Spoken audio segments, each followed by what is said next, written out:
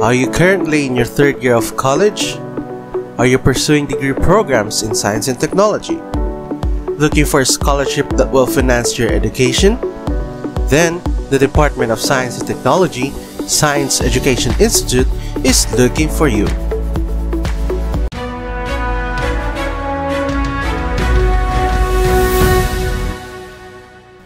The Department of Science and Technology Science Education Institute is now offering scholarship through their JLSS program or the Junior Level Science Scholarship Program.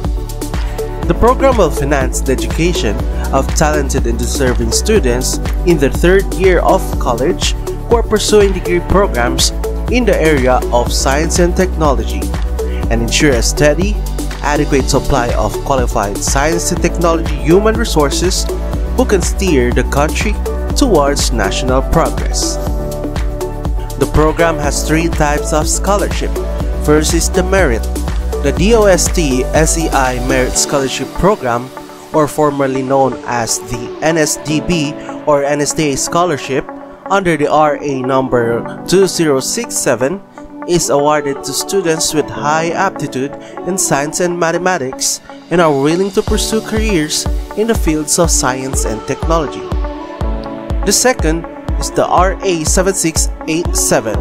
The Republic Act number 7687, also known as the Science and Technology Scholarship Act of 1994, provides for scholarship to talented and deserving students whose family's socio-economic status does not exceed the set cutoff values of certain indicators. Qualifiers must pursue priority fields of study in the basic sciences, engineering, other applied sciences, and science and mathematics teaching. And lastly, the Republic Act number 10612 aims to strengthen the country's science and technology education by fast-tracking graduates in the sciences, mathematics, and engineering who shall teach science and mathematics in secondary schools throughout the country.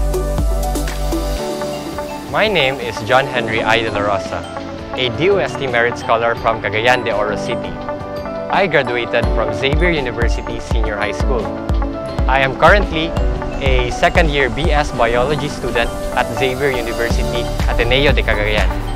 I took up BS Biology primarily because it is my pre-medical course. But more significantly, I love science. I knew about this scholarship because my my two classmates was particularly interested in this and they told me about the opportunities that this scholarship will give me. I applied for a DOST scholarship because besides from the financial assistance that it gives me, I would like to make my college years more meaningful by taking this opportunity as a challenge that would motivate me and push me through my limits, both academically and personally. My DOST scholarship really helped me and my family in terms of the financial aspects of my education. So I really felt that I was supported and cared for. Now here are the privileges of being a DOST scholar.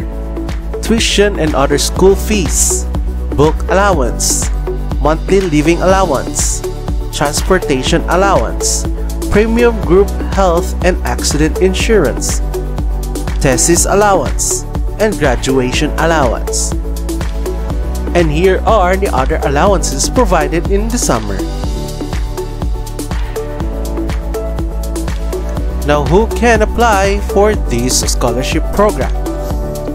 Regular third-year college male and female students enrolled in priority science and technology courses at identified universities as of first semester of academic year 2021-2022 must have a general weighted average of at least 83% or its equivalent and with no conditional or failing mark in the first two years in college, including in the mid-year terms if enrolled. Must be natural-born Filipino citizen. Must be of good moral character and in good health. May have taken the DOST SEI scholarship examination before but did not pass or have qualified for the DOST SEI undergraduate scholarship but did not avail the scholarship award. And here are the list of documents needed to be submitted for the application.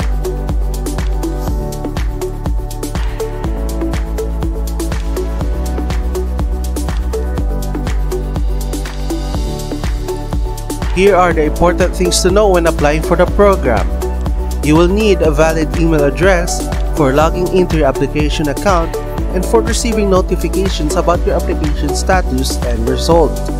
Please make sure that the email address you intend to register has not been compromised in a data breach.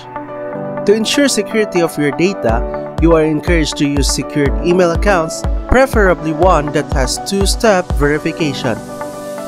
You will be advised the status of your application and other announcements relative to your application through the email account that you used during the registration.